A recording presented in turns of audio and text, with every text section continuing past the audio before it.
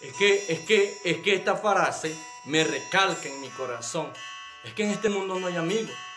¿Y no será que tú te has equivocado en el momento de la escogencia de tus amistades? Porque a mí me ha ido bien con mis amigos. Los amigos son seres que uno tiene que apreciar en un momento dado. Los amigos existen, sí existen.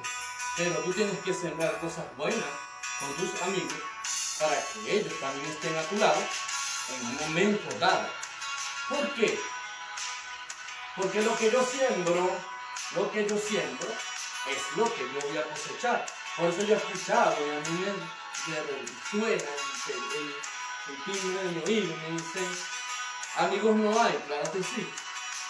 ¿Cuál es tu, cuál es tu escogencia?